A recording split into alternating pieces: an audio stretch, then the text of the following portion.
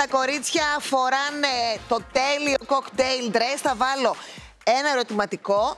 Μέχρι το τέλος του επεισοδίου θα είναι ή θαυμαστικό ή τρεις τελείες, ανάλογα με την πορεία τους. Φύγαμε, καλή μας διασκέδαση.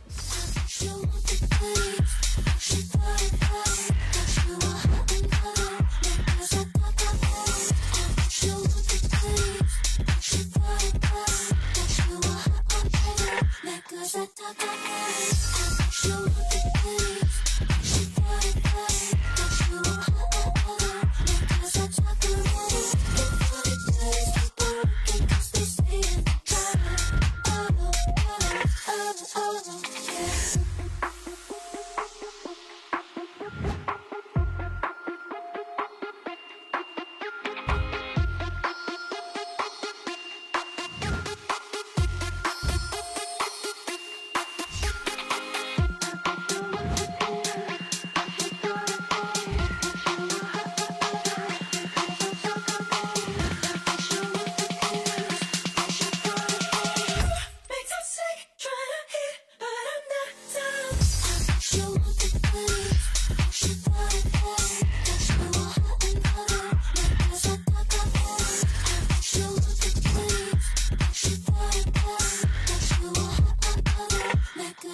Show the police.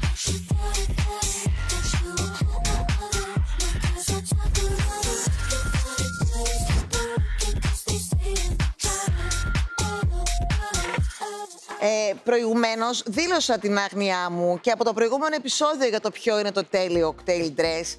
Ήθελα να σας ρωτήσω κάτι πριν πάω στα κορίτσια.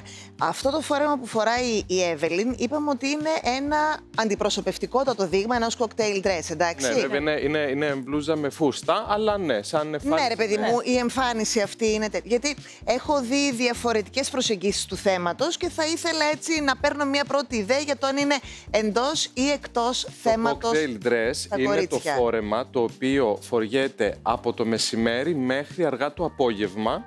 8 τέρμα δηλαδή. Μέχρι τις 8-9, ναι. 9. Ε, και επίσης ονομάζεται και dinner dress. Το οποίο είναι ε, ένα φόρεμα για ένα δείπνο, το οποίο βέβαια το δείπνο στο εξωτερικό κόσμος δεν τρώει στις 11 όπως τρώμε Ισχύει. εμείς, τρώει στις Ναι. 7-8. Έτσι. Οπότε είναι αυτό. Και Μάλιστα. Αυτά.